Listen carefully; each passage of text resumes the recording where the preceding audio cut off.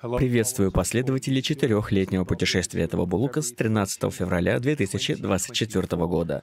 Желаю вам всего самого наилучшего и спасибо за то, что вы присоединились. И хоть и запоздалого, счастливого Нового года. Да уж, с последнего видео прошло три месяца, и за это время для биткоина произошло много хороших событий, а также экосистеме в целом, о чем сегодня я расскажу.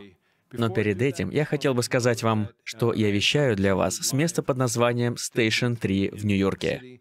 И с учетом того, что это бесплатное видео, не содержащее рекламы, я хочу вам быстро, в течение 30 секунд, немного рассказать об этом месте. Это проект, над которым я работаю, это личный проект, это мое увлечение. И если вы живете рядом с городом Нью-Йорк или посещаете Нью-Йорк, то заходите на наш сайт station3.nyc. Это настоящий хаб в реальной жизни для создателей, разработчиков, художников, предпринимателей, которые собираются вместе для того, чтобы создавать действительно крутые технологии внутри криптоиндустрии, как единого целого, где проводятся интересные мероприятия два-три раза в неделю. И просто место, где люди могут встретиться вместе, создавая все новые связи, формальные отношения, создавать новые партнерства, чтобы помогать, строить и двигать целое криптопространство вперед. Ссылочку я оставлю в описании под этим видео. Обязательно посмотрите и заходите на сайт station3.nyc. Будет круто увидеться вживую, если вы будете в городе, сказать друг другу привет, выпить кофе и наслаждаться этим местом. Итак, со всем вышесказанным переходим к нашей сегодняшней программе. Сегодняшние темы этого видео, как мы и делаем всегда, заключаются о позиционировании этого четырехлетнего цикла, того, где мы находимся в нем, Быстрый обзор нашего портфеля, который, конечно же, как мы знаем, рассчитан на то, чтобы придерживаться курса, в котором мы не собираемся делать множество движений, и мы определенно не находимся в состоянии того, чтобы даже предполагать, какие-либо в этом изменения. Мы посмотрим на образовавшиеся отклонения и на события, которые были достаточно успешными в последние 12 месяцев. И в какой-то момент скоро, я уверен, что мы будем вознаграждены. По крайней мере, скоро. И я также думаю, что самый главный вопрос этого видео является в обсуждении сильных сторон этого цикла. Хорошие результаты, которые мы с вами видели, отсутствие откатов, и все это поднимает один естественный вопрос, на который я уверен, что многие из вас хотят получить ответ. Считаю ли я или мы, возможно, наблюдаем с вами раннюю фазу, либо раннюю стадию лево-развернутого цикла? Развернутый в левую сторону цикл означает то, что вершина четырехлетнего цикла возникнет гораздо быстрее, чем было ранее, на что намекает взрывное движение вверх. Либо находимся ли мы в фазе формирования того, что я думаю может быть суперциклом. Я знаю, что данный термин периодически всплывает то тут, то здесь. Но я начинаю чувствовать, что мы также можем видеть формирование суперцикла и того, на что это может быть похожим в последующие несколько месяцев. Итак, давайте начнем. В общем, спасибо большое, что вы здесь. И первый график, конечно же, недельный.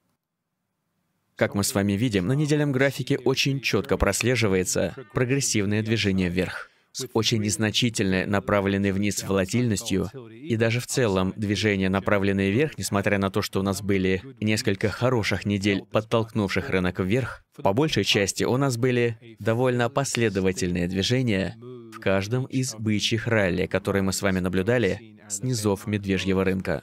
И все это привело к очень сдержанному движению, откату вниз по стандартам биткоина. Если мы с вами посмотрим на три коррекции, происходившие в этой фазе, и четвертая, которая была вот здесь, то увидим, что все они составляли около 20%, что для актива с такой волатильностью является очень значительным. И это также говорит о значимости силы данного цикла за все время с образования дна в конце 2022. Также мы видим на месячном графике, что в настоящий момент мы находимся на месяце под номером 15, 48-месячного цикла, конечно же, что составляет 4 года, с традиционным размещением вершины в правостороннем цикле, рядом с трехлетней отметкой.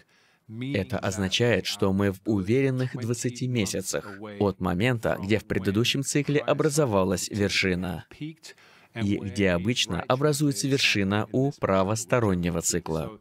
Так что для того, чтобы освежить вам память, 35-месячная отметка приводит нас глубоко в 2025 год. А сейчас 24 год только лишь начался. Это говорит нам о том, что у биткоина с точки зрения цены остается все еще невероятный потенциал. В том случае, если данный цикл окажется в достаточной степени таким же, как и был с самого начала, или другими словами, более 10 лет назад. Это невероятная возможность, которая сейчас у нас есть. Биткоин находится всего лишь у отметки в 50 тысяч. И глядя здесь на портфель, как вы знаете, наш портфель претерпевает незначительные изменения. Идея ведь заключается в том, чтобы закупиться на низах четырехлетнего цикла, что достаточно успешно мы делали дважды. Дальнейшей целью является, конечно же, выйти или, по крайней мере, приблизиться к состоянию вывода денег. Не обязательно потому, что мы любим наличные. Я знаю, что многие из вас засмеют идею обменять биткоин на фиат. Но, конечно же, цель нашего с вами портфеля заключается прежде всего не в том, чтобы получить долларовые прибыли, а в том, чтобы использовать экстримы четырехлетнего цикла, резкие взлеты, приливы и отливы, чтобы накопить еще больше биткоинов. Так что начал я свой портфель с 25, затем пришел к 42 во время последнего цикла, а целью в какой-то момент будет реализация данных прибылей в надежде того, чтобы в каком-то моменте следующего четырехлетнего цикла, а точнее низа четырехлетнего цикла, чтобы начать с чистого листа и повторить возможность входа в позиции в тот момент, когда все переживают финальную капитуляцию, чтобы повторить весь процесс. Так что для модели четырехлетнего портфеля мы находимся на прибыли в 1100%, с минимальным объемом активностей, по сути, с семью действиями, по сути, за период в 5 плюс лет, что, я думаю, говорит о том, что это в большей степени улучшение или еще большее усиление вашей традиционной ходл-стратегии, которая включает все преимущества ходл-стратегии.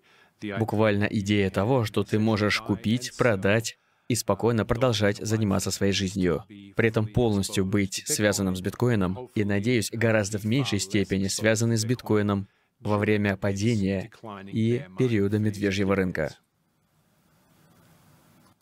Что ж, в настоящий момент, с точки зрения четырехлетнего цикла, я считаю, что все идет просто замечательно. Очевидно, что у нас имеют место очень серьезные попутные ветры. Теперь у нас есть одобренные ETF, которые показывают невероятные притоки в систему. Но также ETF являются очередным шагом вперед с точки зрения того, что теперь они предоставляют легитимность для традиционных рынков и традиционного мира. Ведь с одобренными ETF люди могут видеть данный класс активов как что-то, что ранее не было доступно для инвестирования, и не что-то, над чем можно было смеяться. Конечно, вы видели сами, мы все видим этот радикальный сдвиг в настрое в сторону биткоина. Если теперь говорить с людьми, то теперь они тут же не отвечают тем, что это шутка или скам или, скажем, финансовая пирамида, конечно же, некоторые продолжают так говорить. Но мы прошли очень-очень долгий путь для того, чтобы биткоин стал восприниматься как актив, который с нами останется надолго. И, конечно же, я в разных видео уже упоминал об этом, что биткоин является машиной времени. Это бесконечно действующая машина, создающая блоки один за другим. Это невозможно отменить или изменить, и с каждым созданным новым блоком, который появляется с течением времени, он показывает нам свою надежность, приобретая ценность, получая ее от прошедшего времени. И в каждом цикле этот настрой только лишь усиливается а люди чувствуют себя все более комфортно, относя стоимость к этому активу и свое благосостояние к этому классу активов. И с точки зрения четырехлетнего цикла, это замечательная и чистая картина цикла. Да настолько, что чище уже быть не может. Она просто идеальна. Мы наблюдали циклы с тремя растущими и одним падающим годом, эти 47-48 месяцев растущего периода в четырехлетнем периоде, с 12 падающими месяцами капитуляции, образующихся после высокоспекулятивных периодов времени. И вопрос заключается в том, как я уже говорил в начале, в отношении данного цикла, будет ли этот цикл другим. Ведь это то, о чем я много раз говорил, и не только в связи с биткоином, а о циклах в целом. Циклы со временем показывают рифму, но в какой-то момент их характеристика меняется значительно. Ничто в мире не растет бесконечно. В какой-то момент мы с вами увидим цикл, который не будет похож на прежние, не будет таким же. И я говорил уже ранее, что данный цикл как раз может быть таким. И я по-прежнему в это верю. Я считаю, что данный цикл будет сильно отличаться. При этом я также верю в то, что мы можем все еще увидеть вершину цикла в районе третьего года. То есть будет аналогичным с точки зрения тайминга, но с точки зрения цены сильно другим. Поэтому идея как раз в том, что мы можем увидеть в какой-то степени период суперцикла в течение данного четырехлетнего цикла, либо лево-развернутый цикл. И перед тем, как я перейду к двум темам, которые являются основными в данном видео, хочу вам напомнить, что ощущается как-то все легко идущее с точки зрения активного ходлера. Покупай низы, а все остальное время мы были в основном в растущей зоне, что доказывает этот недельный график. С тремя или четырьмя... Так, здесь еще одно было событие вот тут, которое немного встряхнуло всю ситуацию. На отметке где-то около 23%. Так что вот эти встряски в районе 20% для ходлеров, я думаю, что не вызвали никаких тревожных моментов или желаний взять и продать, потому что движение это не стало устоявшимся. Но если мы посмотрим на предыдущие циклы, то увидим множество и множество крупных капитуляций, превышающих 40%. И я думаю, что самый лучший цикл, который зеркально повторяет этот текущий, и даже циклы 2015 и 2017 цикл, от низа четырехлетнего цикла до момента к тому, где мы находимся сейчас, выглядит похожим. Мы не видели крупных масштабных событий продаж более чем в 30%, включая два, превышающих 40%, в этой текущей стадии четырехлетнего цикла. То есть мы ничего похожего не видели, но это, конечно, не значит, что мы не увидим. И поэтому я считаю, что в какой-то момент скоро, неважно, очень ли скоро, либо через несколько месяцев, этот рынок не будет просто лишь продолжать расти без подобного типа коррекций. При этом будет важным оставаться на данном курсе с точки зрения портфеля.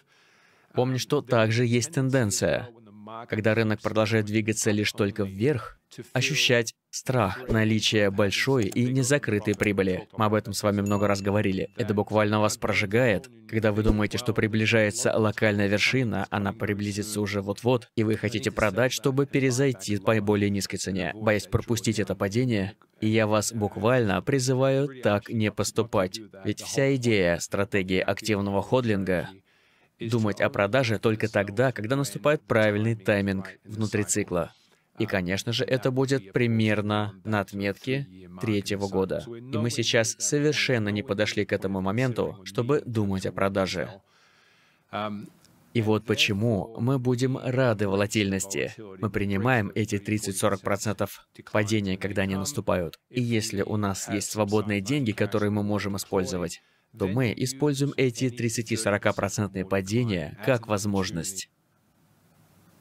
И причина этого заключается в том, что данная стратегия является не торговой стратегией. Она устраняет необходимость понимания того, что делает рынок. Делать это день ото дня и неделя к неделе. Это убирает все эти моменты смятения, а также устраняет множество ошибок, появляющихся из-за попыток трейдинга превращающих все это в краткосрочный ходлинг. Так много историй и людей, пытавшихся это сделать, в большей степени, у которых ничего не получилось. И в очень могущественных рынках, которые мы сейчас видим, и в течение текущего цикла, имеет возможность, если вы пытаетесь продать на локальной вершине, запереть вас в ловушке и продолжить расти что делает практически невозможным для вас повторно зайти в рынок, потому что вы только что увидели образовавшийся гэп от растущей вверх цены. Так что старайтесь этого избегать. Это ключевой фактор успеха для стратегии данного типа. Вы лишь продолжаете ходлить и принимаете то, что ваша стратегия создана для получения прибыли за весь цикл, а не даение дополнительных прибылей или попытки даения этих дополнительных прибылей во время периодов падения внутри четырехлетнего цикла. Но позвольте вам сказать, и для меня это было наблюдение, точнее, в большей степени наблюдение, чем что-либо еще. Но для меня Это буквально ощущение, что имеет место огромная сила, которую мы не видели в предыдущих циклах. Определенно, в цикле 15-18 года была сила. В то время было значительное количество волатильности, но даже какая-то сила была в 2018 и 2022. Хотя в итоге основная сила появилась перед взрывным ростом. Но этот цикл ощущается, как будто в нем непомерно много впереди. Также это можно наблюдать и по ончейн показателям, видя, что долгосрочные держатели буквально не продают свои позиции. Они накапливают и начали накапливать гораздо раньше, чем обычно. И ощущается, что данный класс ходлеров действительно хорошо спозиционирован для того, чтобы цену закинуть гораздо выше. А данный четырехлетний цикл был основательно поддержан в зоне выше исторического максимума. Также складывается ощущение, что очень много людей с точки зрения розничного покупателя также, в общем, присутствуют. Конечно, люди восторгаются криптомиром, но даже в этом мире все кажется очень сдержанным. В то время как в прошлом цикле у нас было много мошенников и сомнительных личностей, очень много манипуляций с плечом, конечно же, которые двигали рынок. Но в этот раз двигателем, кажется, является спот, нежели что-то еще. Просто люди, институционалы, признающие ценность ходлинга спотового биткоина, покупающие спотовый биткоин целыми пачками. Я думаю, это именно то, что и двигает этот рынок выше. Также заметно, что во время распродаж мы видим меньше сделок с плечом. Мы видим меньшую волатильность, направленную вниз. И все потому, что ходлеры просто не хотят продавать на этих падениях, поддерживая тем самым силу этого рынка. В итоге эти падения в 10-15%, которые мы видели, оставались позади относительно быстро. И это наводит меня на тему, которая сегодня актуальна, будет ли цикл лево-развернутым. Либо даже, возможно, будет суперциклом. Я к этому перейду через минуту, но с точки зрения лево-развернутого цикла, вот что вы должны знать. Это интересно, потому что это все идет наряду с той силой, которую мы наблюдаем. У нас имеет место слияние всех этих рассказов и историй с предыдущих циклов, которые, на мой взгляд, сейчас объединяются, ведь у нас как бы есть изначально самодостаточные ребята, которые вошли в эту технологию на ранних стадиях. Это была первая волна, первый цикл, Потом у нас были технически сфокусированные на этом ребята, которые также зашли, эти венчурные капиталисты. Затем у нас было розничное безумие в 15, 16, 17. Это фаза ранних институционалов в последнем цикле. А затем у нас произошла эта большая история с NFT. Это начавшееся движение, и это важно, потому что они также являются покупателями биткоинов и в целом криптопокупателями, входящими в экосистему. И теперь у нас есть эти ETF, сделавшие доступ к биткоину более широким. И, конечно же, с учетом имеющего места этого государственного регулятора, разрешившего покупать и накапливать. И все это складывает ощущение, что теперь у нас есть все на месте, все здесь. И с этим самодостаточным, наполняющим меня ожиданием того, что у биткоина все еще есть впереди один большой шаг вверх, какой-то значительной вершине, на которой, я думаю, нужно какое-то время, а затем еще время на то, чтобы все это переварить. Так что определенно для какого-то большого движения у нас есть некоторые задатки. И вот почему, что этот наступающий, вернее идущий цикл, в котором мы находимся, либо он будет лево развернутым циклом, либо в какой-то степени суперциклом, и то, что он не будет циклом с уменьшающимися прибылями. Я думаю, что многие были введены в заблуждение о том, что это последний цикл, к которому приблизимся в зону шестизначных цифр, о котором вы думали, что это произойдет. И все потому, что последний цикл, я думаю, что в большей степени был, как я говорил ранее, построен на мошенничестве, движимый сделками с плечом, почти что полностью скоординированным циклом, который попросту выдохся, а затем, в какой-то момент, когда это произошло, сделки с плечом вылезли наружу, и в итоге все рухнуло. Данный же цикл выглядит гораздо более устойчивым и имеющий фундамент для того, чтобы двигаться выше. И с точки зрения левостороннего цикла, если посмотреть на месячный график, И перед тем, как начать разговор о левостороннем цикле, мы находимся в моменте текущего цикла примерно на 15 месяце где предыдущие циклы вставали на паузу примерно за 2-3 месяца до халвинга. Как только они достигали этого уровня 6.1.8, уровня поддержки продолжения Фибоначчи, примерно в этом моменте. Это все действительно начинало происходить около 23 месяца, последних нескольких циклах. Это когда они буквально замедлялись, а затем становились очень выглядящими по бычьи, пробиваясь к историческому максимуму, и к 25-26 месяцу как вы здесь видите в предыдущих циклах, осуществляли рывок к историческому максимуму, не оглядываясь назад до достижения вершины четырехлетнего цикла. В настоящий момент мы немного выше уровня 6.1.8. Но мы дошли до этого уровня на момент 15 месяца цикла. И мы как бы сейчас в этом моменте, на этом уровне, и мы были здесь в цикле 15 года, также на 17 месяце, но затем резко упали вниз провели 4-5 месяцев консолидации и опять же не достигали этого уровня до 23 месяца, а затем продолжили рост. То есть откатились вниз до уровня 10-месячного скользящего среднего, затем провели консолидацию, а затем, после халвинга, устремились вверх, не оглядываясь назад. То есть очень похожая ситуация здесь, в этом цикле, когда стало ясным, что мы в новом бычьем рынке. Теперь это уже каждый знает и мы находимся в прихалвинговом состоянии, и если сценарий предыдущих циклов будет повторяться, мы должны будем откатиться. Или уйти в консолидацию, по крайней мере, в 3-4 месяца. До халвинга и после халвинга, а после. И думаю, что вся эта история самого халвинга, я думаю, менее важна, но все же. И само сокращение производства биткоина и обращения также играет роль. Поэтому с точки зрения левостороннего цикла, это по сути означает, что цикл текущий не будет похож на предыдущие циклы. Он просто движется вперед, потому что за этим рынком стоит твердая уверенность.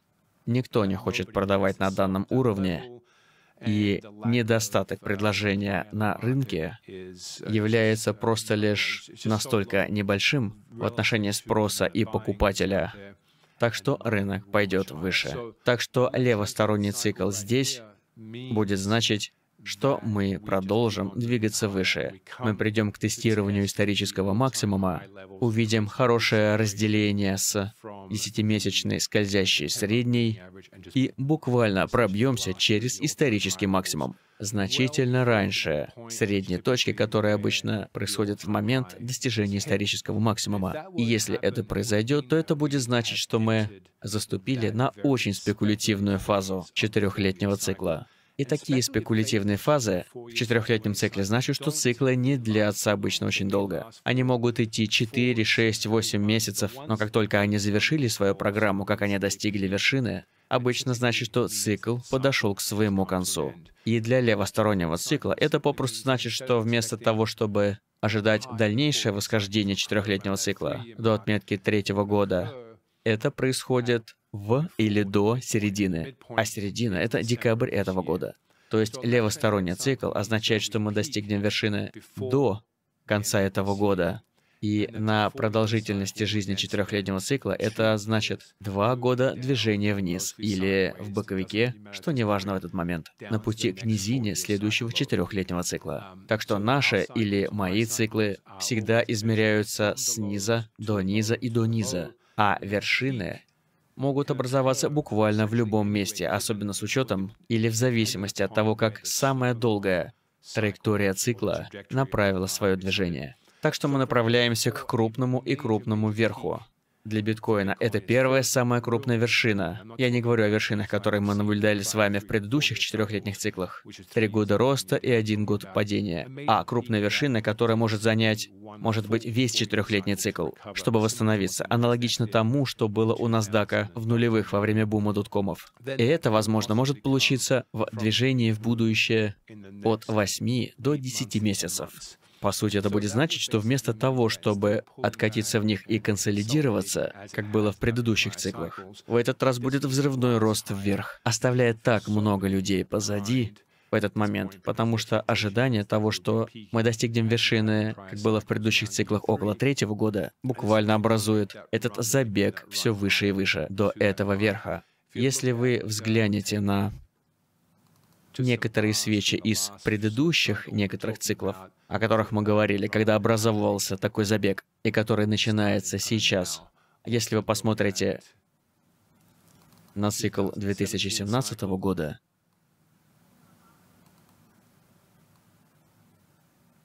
возьмете и сделаете что-то вот в этом роде. Так что неважно, каковы ценовые цели. Я думаю, что никто не скажет, где образуется эта вершина. Главное в том, что в левостороннем цикле мы бы уже оказались в этой фазе взрывного роста. Пока еще на это не похоже. Пока. Но исторически мы бы уже падали примерно вот в этом месте консолидируясь, и если мы продолжим расти выше и достигать все более высоких уровней, начав тест исторического максимума, это будет значительным отправным моментом для изменения поведения в отношении предыдущего цикла, и что мы понеслись выше. Да, конечно, у нас есть вся эта история с ETF, но не только дело в ETF и не только в истории. Это реальность, когда мы видим, что миллиарды долларов поступают в систему, чего мы не наблюдали во время предыдущих циклов. И, конечно же, все это самореализуется, двигая цены вверх, увеличивает осведомленность, а также доступ к продуктам и биткоинам через ETF, что делает легче путь к капиталу для прибытия. И это то, как начинают расти пузыри. Он надувается, надувается и надувается. Люди начинают об этом повсеместно говорить, настрой начинает расти, капитал прибывать, а цены начинают становиться все выше. Это все продолжается до того момента, когда мы приходим к тому, что система не может оставаться устойчивой. Так что эта идея довольно уместна. И я думаю, имеет довольно разумную высокую вероятность. Хоть я и не могу назвать конкретную вероятность. Но когда я рассматриваю эти ощущения и обоснование этой силы, когда мы рассматриваем эти ETF, что определенно является в некоторой степени черным лебедем того, чего рынок ждал 8-10 лет с точки зрения биткоина, все это придает ощущение для всего этого рынка возможность стать левосторонним. Но как мы на это отреагируем, когда мы, возможно, начнем рассматривать точки выхода рядом с отметкой в три года, если данный цикл начнет проявляться левосторонним, когда вершина, возможно, будет летом, или концом лета, либо ранней стадией завершения года, то как мы будем доверять тому, что вершина достигнута в этот момент, а не пойдет дальше еще на протяжении следующего года, на гораздо более высокие отметки? Это хороший вопрос. В этом и есть сложность отлова вершин в любом рынке. И я думаю, что в четырехлетнем цикле гораздо легче поймать низ, я думаю, что в определенный момент настрой достигает момента в определенный тайминг в отметке 4 года, и поймать его гораздо легче. Но когда у вас имеет место очень большой потенциал для достижения вершины в четырехлетнем цикле, что буквально и является тем, что мы здесь пытаемся сделать, пытаемся определить долгосрочный тренд и то, где цикл может достичь своей вершины, то у нас нет предыдущего ритма или рифмы для вершины, чтобы выйти с рынка. И нам нужно начать доверять некоторым показателям, некоторым техническим показателям рынка, который будет либо окажется рядом с вершиной, этой вершиной четырехлетнего цикла, и нам с вами придется пересечь этот мост, определить и посмотреть на эти цели. Они могут достичь довольно высокой отметки, особенно в высокоспекулятивном рынке. Я даже не сомневаюсь в том, как высоко может уйти биткоин во взрывном движении левостороннего цикла. Но если это будет левосторонний цикл, я думаю, эта отметка будет гораздо выше 100 тысяч долларов. И я думаю, что мы столкнемся с ситуацией, когда мы уйдем настолько далеко, что буквально все индикаторы будут находиться на самом максимуме довольно долгое время, и мы уйдем на очень большое отдаление от 10-месячного скользящего среднего. И я думаю, это будет вопросом того, чтобы, если это произойдет, наблюдение этой экстремально удаленной точки. И что вы начнете постепенно закрывать свои позиции. И зная это, вопрос наступления вершины будет заключаться в тайминге. Но главное, что будет цена, которая станет логичным началом для процесса закрытия позиций, потому что я полагаю, что дно следующего цикла мы увидим на гораздо более низких ценах. Но это нормально. Эта идея левостороннего цикла, я думаю, имеет большой объем наград. Но что произойдет после этого? Что ж, я думаю, если у нас будет взрывной рост, то не буду называть цифры как предсказания. Но, допустим, у нас образовалось массивное движение, которое привело к цене 200 тысяч плюс, или даже уровня 300 тысяч, то, думаю, это приведет к вершине, более долгосрочной. Я думаю, 16 или 20-летний цикл. Точно не могу сказать продолжительность такого цикла, но циклы, которые захватывают самое начало образования биткоина, являются для этого обоснованием, начавшиеся давно, более 10 лет назад.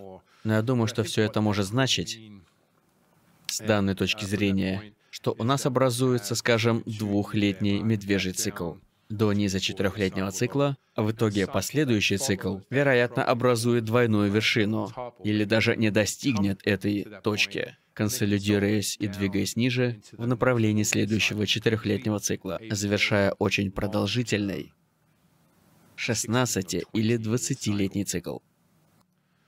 И на шестимесячном графике вы сможете увидеть это будущее взрывное движение. Эта текущая шестимесячная свеча началась в прошлом месяце. Она пробьется через исторический максимум, а затем следующая шестимесячная свеча до вершины, взрывной вершины, которая отметит долгосрочную вершину цикла. И на что это будет похоже? В настоящий момент у нас есть эти четырехлетние циклы. У нас есть движение вверх, а затем откат вниз. Это четырехлетний цикл. Еще один четырехлетний цикл. И еще один. И вот еще один прямо здесь. И возвращаясь к четырехлетнему циклу, обратите внимание на то, как развивается его продолжительность. Потому что здесь вершина произошла до середины цикла, а затем ситуация, где она, вероятно, оказалась позже. Так что, как вы видите, циклы на четырехлетнем таймфрейме проходят через приливы и отливы, три года вверх, один вниз. Для более долгосрочного цикла у вас будет вершина и горка вниз. Так? В общем, цвет поменяю.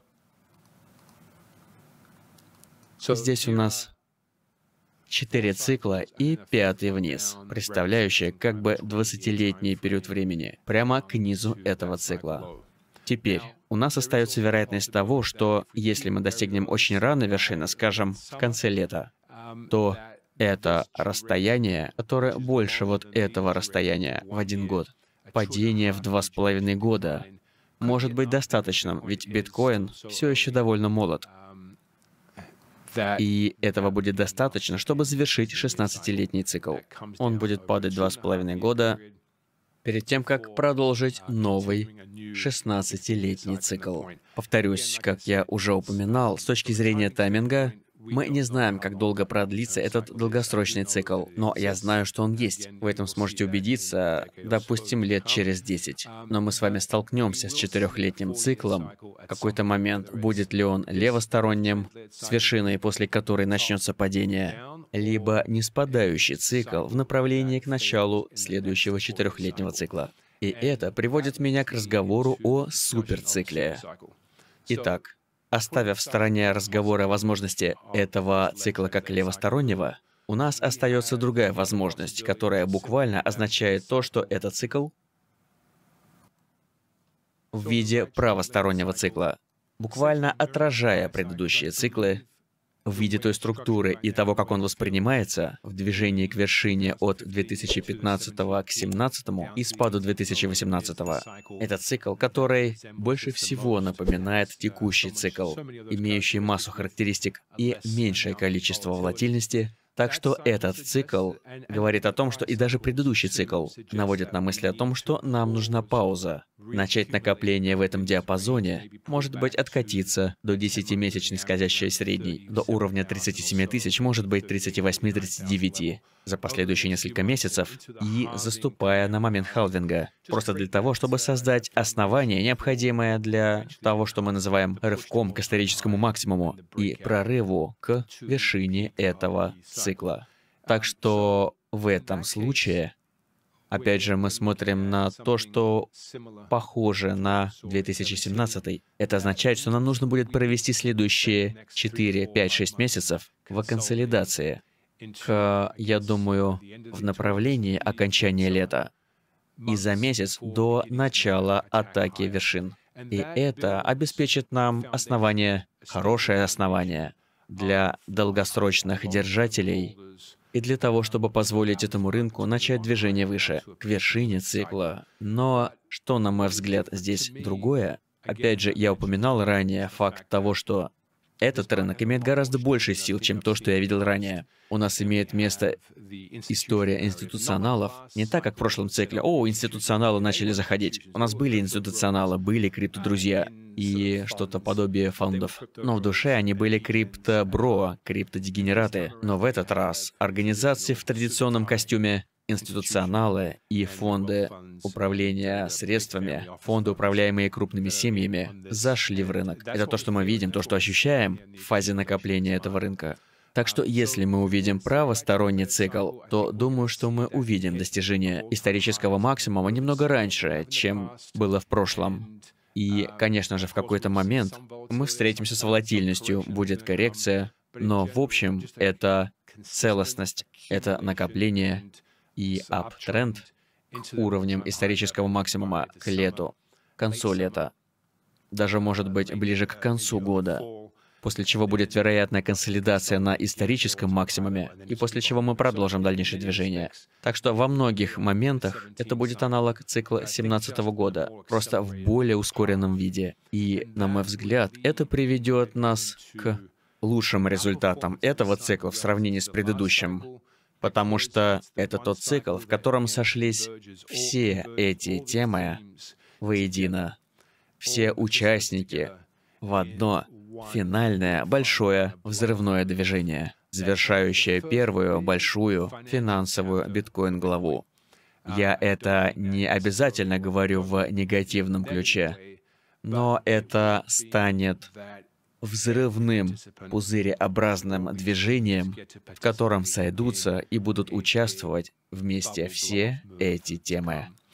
Так что я действительно считаю, что мы с вами увидим неслыханное движение в этом четырехлетнем цикле. Будет ли оно частью левостороннего цикла, то есть более короткое, более резкое, экстремально резкое, направленное вверх, с вершиной в этом году, или же это будет обычный четырехлетний цикл, аналогичный тому, что мы видели ранее?